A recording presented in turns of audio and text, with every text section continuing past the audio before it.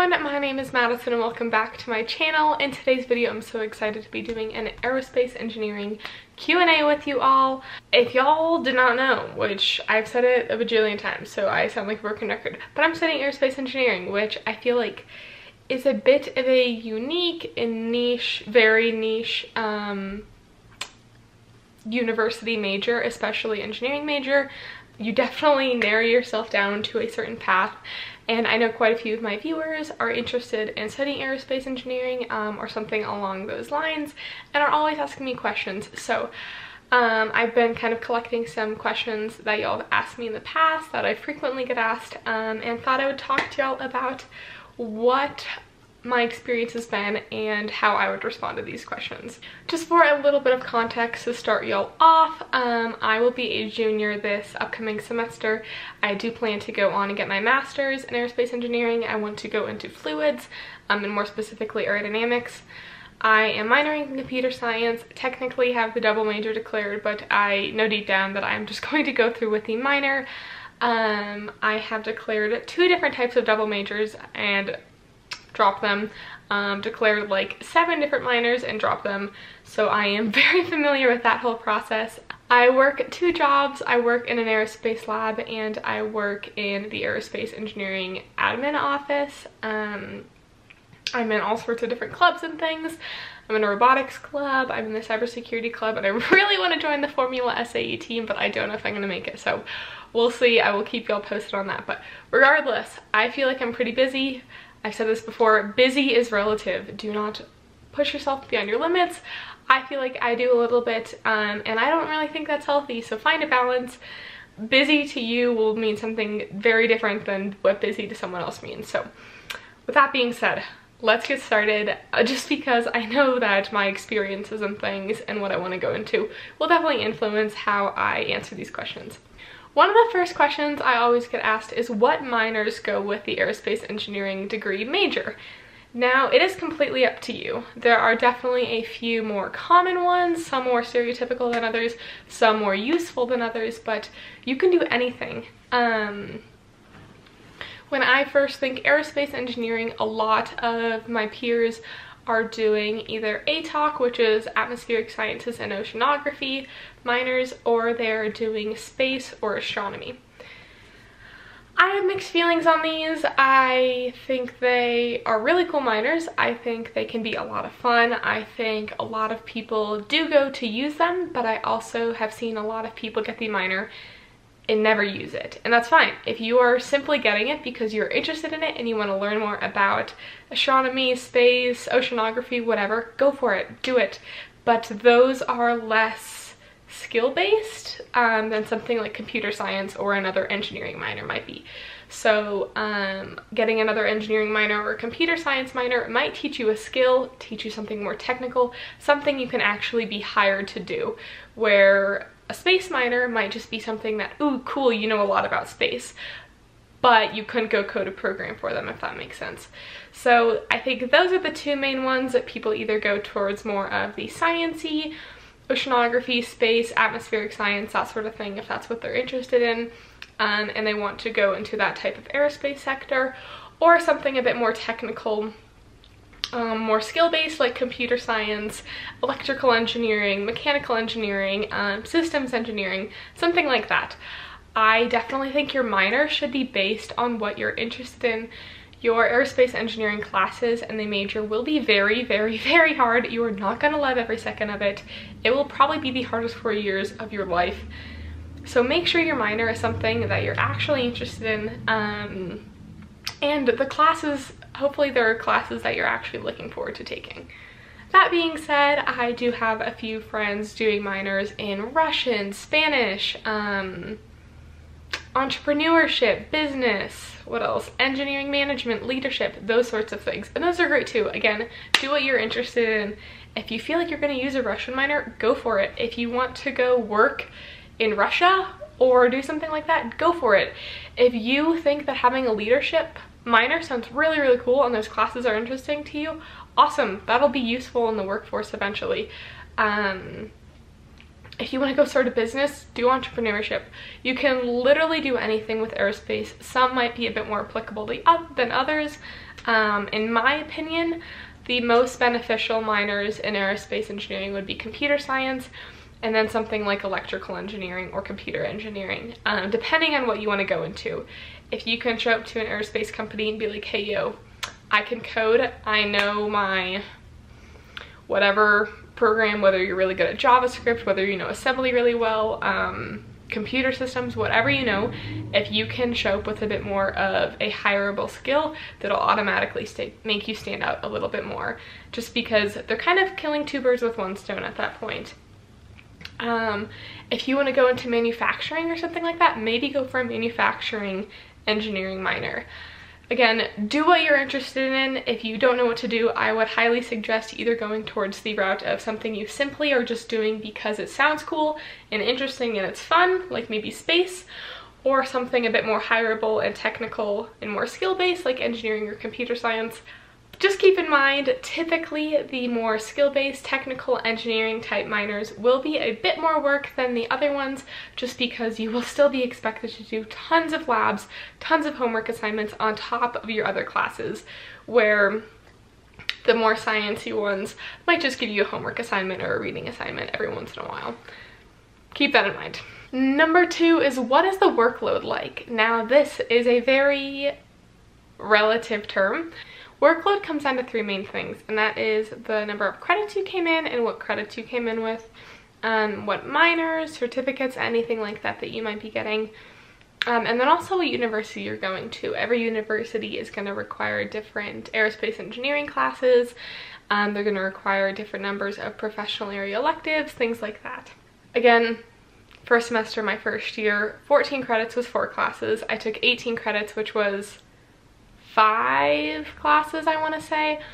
Um, second, first semester sophomore year, my 18 credits was also five credits and then this past semester 14 credits was only three classes which means each class was a lot more credit hours which means each class had a lot a lot of lab um, on top of that like i said i'm getting the computer science minor which is definitely not an easy minor i will fully admit I have considered dropping it quite a few times, but I'm so close to finishing it that I'm like, I'm just gonna tough it out and stick it out because I'm so close to being done with it, but it is a lot of work. So many extra labs on things I'm not really interested in at all. Like computer systems was one of the worst classes I've ever taken. I think it'd be interesting if I was interested in how a computer works but I'm really not. I'm interested in like cybersecurity and I'm interested in that sort of thing as opposed to like the assembly code and like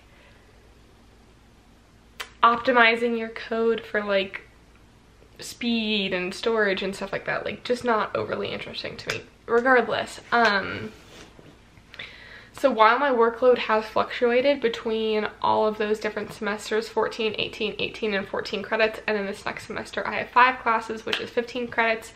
15 credits doesn't sound like a lot, but trust me, when there are aero classes and computer science classes that are considered the weed out classes, they will feel like a lot. And typically the aerospace engineering students are also the ones that are wanting to get jobs or multiple jobs, work in labs. They're in a lot of clubs, maybe they're volunteering, um, those sorts of things.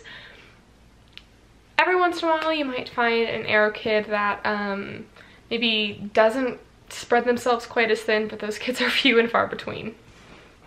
Number three is what classes do you take?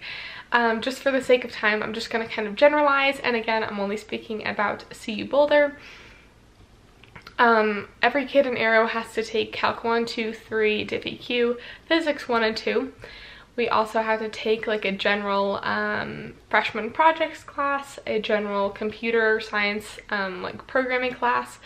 We have three different versions of aerodynamics, so we have to take two different versions of thermodynamics, multiple dynamics, orbital mechanics, aircraft dynamics, those sorts of classes, um, multiple statics and structures classes, um, electronics, and then you take propulsion, you have a senior projects class, you need 15 professional area electives, which are things like computer science classes, maybe you're doing like an electrical engineering minor or something like that.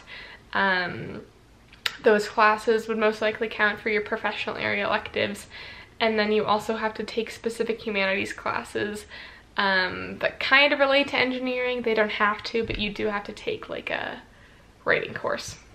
Number four is, are there a lot of work opportunities? Now, I hate that word. I'm gonna be honest with you. I hate the word opportunities.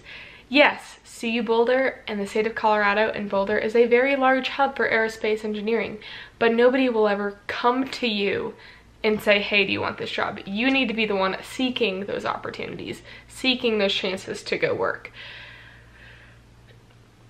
So you need to make your own opportunities is kind of what I'm saying. Um, yes, there are a lot of work opportunities out here, but again, nobody will ever come to you. You need to be the one seeking out those opportunities. I'll have friends saying things like, I just can't find a job, I really want a job, but nobody's hiring, blah, blah, blah. And I'm like, if you think nobody's hiring and you think you can't find a job, you're not looking hard enough. You're not trying hard enough. Um, I truly believe that if you want something, you need to work for it and you need to go out and find it yourself. So yes, there are lots of work opportunities out here and I'm sure at a lot of established universities that have aerospace engineering, there will be too. Um, work opportunities in your field might be a little bit different. I really want to go into aerodynamics and fluids, like I've said, which as an undergrad is a very hard thing to get into. Um, and CU Boulder especially is very well known for their space research and their astronautics research as opposed to their aeronautics research.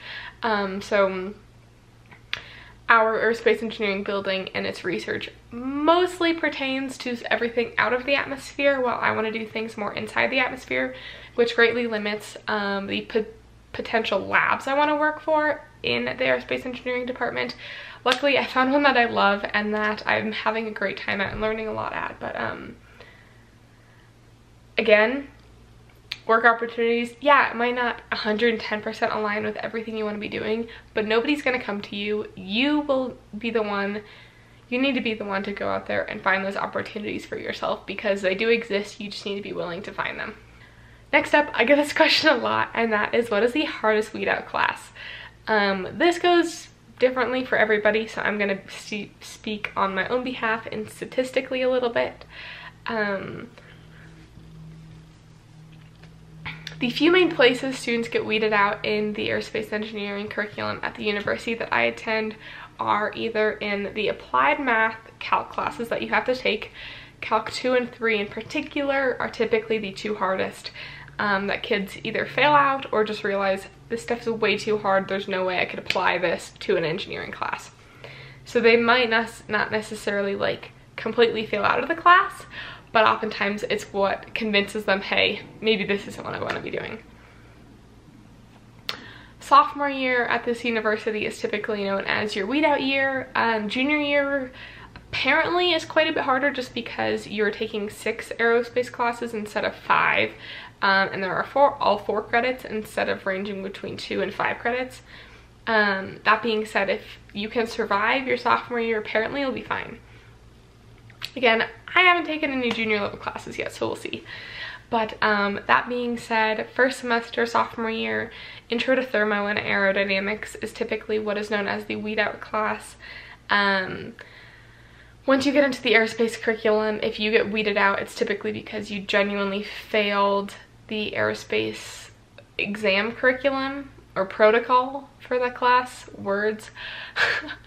At CU, you need at least a 73% exam average on your aerospace exams to pass the class. So even if you have 100% in your labs and you get a 71% on your exam average, you will fail the class, which is just so fun. So typically students kind of get slapped in the face when they realize they have to study a lot more than they originally thought they did. Um, or they're not putting in enough work, something like that, um, to the point where they fail out of the class. Again, this stuff is doable, it is challenging, it is not easy, but it's not impossible. If you are willing to put in the time and energy and effort, you'll do fine. Um, you just need to be prepared to really, really work for it. So intro to thermo and aero, first semester, sophomore year is one of the biggest ones. If you make it past that, then typically dynamics and control systems second semester sophomore year also gets a lot, a lot, a lot of people.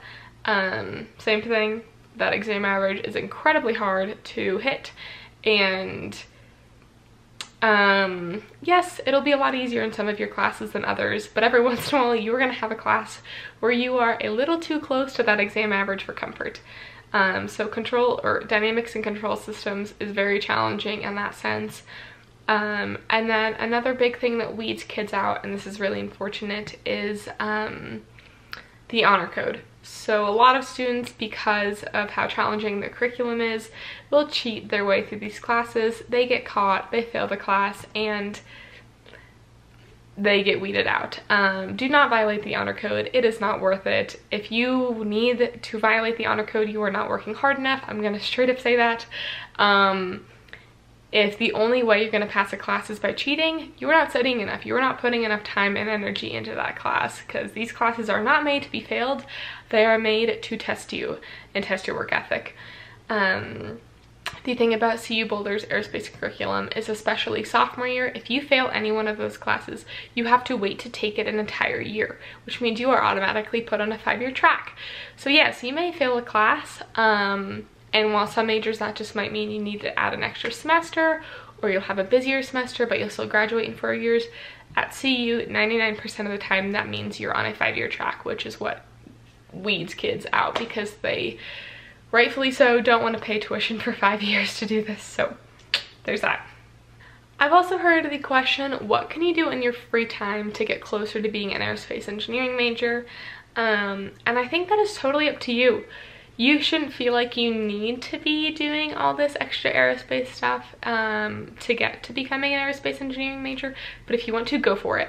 Nobody's gonna stop you, but you really don't need to do anything. Um, if you really are wanting to do something aerospace related in your free time, I would highly recommend joining a robotics club, joining like um, a submarine competition team, do something with planes, build rockets, something like that to just help you realize what area you really are interested in. Maybe you're interested in rockets, maybe you're interested in satellites, maybe you want to go work on boats and submarines and things like that, or cars. Um, really try to figure out what area you want to go into, and then once you figure, oh hey, I like rockets or I like planes, once you've kind of distinguished between astro and aero, you can go um, and figure out more about if you want to do autonomous systems within that, if you want to do fluids, if you want to do structures, something like that. But start broad, just try to figure out what, you're excited about. Um, tinker with things. You could,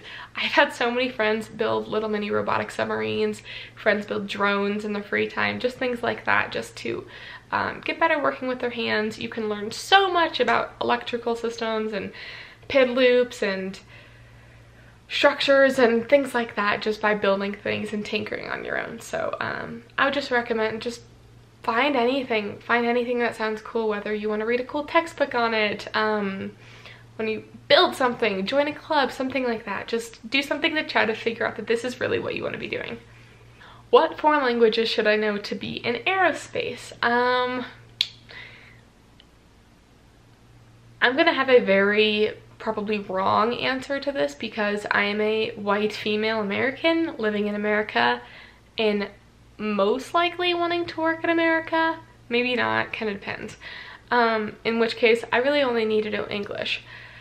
However, if you are an international student um, or you live outside of the US, obviously probably knowing whatever language your country speaks would be helpful and probably English just because um, the US is the biggest aerospace hub or I don't know about Russia, but I don't really know if you can go work in Russia. Aside from that, the US is the biggest aerospace hub um, and if you are ever wanting to work in America, knowing English will be a necessity. That being said, if you don't want to, if you want to go work out of the country, knowing um, any European language could be really helpful. I at one point knew Spanish pretty well. I don't really think I do anymore, but um, I got AP Spanish credit, so couldn't have been that bad. But um, yeah, I, I wouldn't say there's really any, any requirement. Just keep in mind where you're trying to work and where that um, company, company is located or what country you're trying to work in. Just figure out whatever that language is, and I'm sure that'd be helpful. is aerospace hard? Um, You'll also probably know how I feel about this question just because I feel like the word hard is relative. Um, in no way will it be easy. No one will ever tell you that was a walk in the park. I had all this free time. I never had to study anything like that. And if they tell you that, they're probably lying because this is considered one of the hardest majors for a reason. It has one of the highest dropout rates at my university for a reason. Um, and yes, maybe it is hard to some people, but I would not call it but it's not impossible. How about that? Like, it will be challenging. You will have to work for it, but it is not impossible. It is completely doable if you are willing to put in the time and energy, give up some free time, give up some of your social life. But if it's really what you're interested in and really what you see yourself doing with your life, um, you will get it done. Again, not going to be easy, but it's not impossible. It just all depends on how much work and effort you're willing to put into the major. Another question I get is why do so many people drop out and fail out? Um, first and foremost, classes are hard. Like I mentioned earlier, that there is that exam percentage threshold that you need to pass in order to continue with the major and continue taking courses. Um, I think a lot of kids either A, just aren't really interested in some of the classes, which is maybe why they study less. Maybe they think they don't need to be studying as much as they should be. Um, people just have bad exams. You could be doing really, really well in the first three exams and that final could just hit you like a truck, which is really unfortunate, but that does happen. Um, another thing is, um, I think people drop out a lot of the times because it is so niche. If you truly are not interested in planes and rockets and satellites and cars, that sort of thing, you're probably not in the right major. Um, go do something a little bit more broad like mechanical engineering where you can get a very much more wide variety, a much more broad education on mechanical engineering in general versus only narrowing yourself down to propulsion, thermodynamics, aerodynamics, um, those sorts of classes, dynamics. If you don't like dynamics and like aircraft dynamics, orbital mechanics, that sort of thing, and aerodynamics, you are probably gonna hate this major. Um, so I think some people just realize this isn't for them. Uh, they don't want to do something so specific, um, which is totally fine. Um, another thing is, I mentioned this earlier, and this is really unfortunate. Um, people will feel the need to supplement their lack of studying um, and preparation with violating the honor code, which is things like cheating on an exam, talking to your friend during an exam, um, those sorts of things, notes, textbooks on exams, those are the general ones. Um, you might plagiarize a lab report or something like that because you didn't I don't know, you didn't do the assignment early enough and you procrastinated and now you're scrambling to finish it and you found someone else's answers online, that sort of thing. Um, please do not violate the honor code. Do your work honestly. It is the lamest way to fail out in my opinion. If you're gonna fail out, go out trying, go out truly giving it your best shot, um, not violating the honor code. Um, I don't want to sound rude when I say all of that. I just frankly believe that if you feel the need that cheating is your only way to pass the class, you're not trying hard enough. You're not putting in enough study hours. You're not going to office hours. You're not reading your textbook. And I in no way have perfect grades. I by no means have great grades. I by no means will be top of the class. I by no means will be the person that people go to when they need help on a homework assignment or something like that. But I do pride myself in knowing that I am willing to go the extra mile um, to hopefully do just a little bit better on an exam. Um, I have to give up a lot. I I think everyone does. If you're willing to pursue this major and you're willing to do well in it, um, you're gonna have to make some sacrifices just like everyone else. And last but not least, this video is getting so long, um, I often get questions about social life. Now, this means something different for everybody, so I'm gonna kind of explain my stance. Um, how much of a social life you want to have and you're gonna have depends on what grades you're shooting for, what minors you're taking or getting, what certificates you might be getting, um, if there are any other classes you're taking outside of the major. if you're willing to spend five or six years getting this degree so you're not taking those 18 19 credit credit semesters that'll impact how much free time and social life you have um, it also comes down to jobs things like that if you want a job or two i work 25 hours a week during the school year um, and then also clubs if you want to be in the robotics club and be the president one day, you're gonna need to work for that. But if you're just not interested in that, awesome, you do you. Um, I'm not here to judge. I think everybody needs to follow their own path and do what actually interests them outside of their major because this major is so draining. It is really important to find other things outside of your schoolwork that actually interest you. So that being said, your social life will greatly depend on that. Um, again, I do not want to sound cocky when I say this. I'm simply stating how I spend my time. And here we go. Um, this past semester, I took 14 credits. I had 10 hours of lab a week. I had lecture for nine hours a week. Um, so there, that's 19 hours of class I had every week, which was only giving me 14 credits. Um, outside of that, I probably studied two, maybe three to five hours every day, at least on the weekends, up to eight hours a day. Um, I work 25 hours a week, so I was working almost every waking minute between eight and five. I was either in class doing homework or at work. Um, and then on top of that, last semester I was heavily involved in our CU RoboSub team, which was a seven hour a week commitment and then I let myself go to the barn once a week on Tuesdays, which was like my happy place. Um, that being said, I'd say I was probably busy from 8 a.m. to about 8 p.m. Monday to Friday at least. Sometimes we'd have RoboSub until like 9 or so. Is that right? Something like that. Um, and then on the weekends, I would say normally I was busy from about 9 to five, nine to four if I was lucky doing homework um, and clubs and things like that. So that being said, that kind of pretty much only gave me after 6 o'clock on weekdays and then after 5 o'clock on the weekends to do things, which typically just meant me making dinner um, or going to get ice cream with my boyfriend or something like that. But if you are interested in being in a frat, um, or in a sorority if you're interested in Greek life. There are definitely um, aero kids and aerospace engineering students who are a part of that. If you're interested in being on a D1 sports team or an intramural sports team, you can definitely do that. Just note that you probably are not going to have time for a 25 hour a week job. You might not have time for that extra club.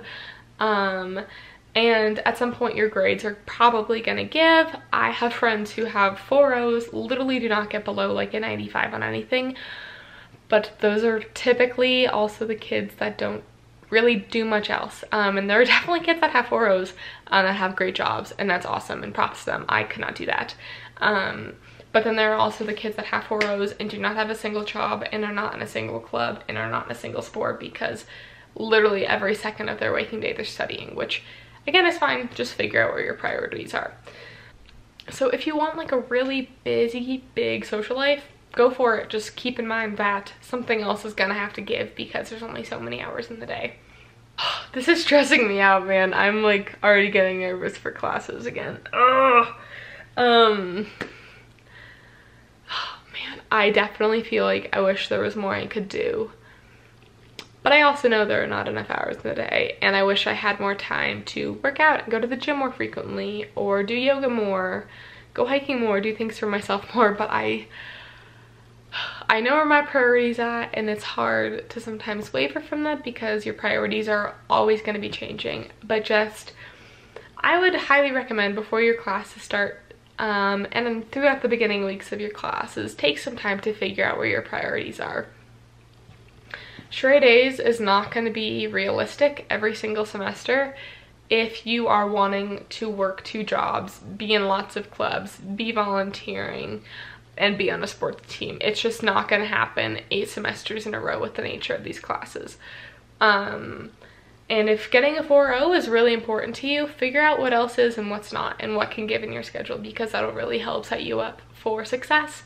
Um, and grades aren't everything. More than anything, I'd say make sure you're doing things that actually make you excited, doing things that you're actually passionate about, um, and putting your time and effort into things that are going to be bringing you joy and things that are stress-free. This major is already stressful enough. You will guaranteed cry probably at least over one exam a year, maybe a semester or once a month. I probably cry over an exam at least once a month just because stuff happens, life happens. Um, so make sure on top of all your sucky, really hard classes that you're actually doing things that make you smile because it's hard to find those things every once in a while. So I'm rambling. This video is incredibly long and I appreciate y'all hanging out with me and I will see you all next time. Let me know if you have any other questions or if you want me to do another one of these videos or if you have any other videos you'd like to see from me.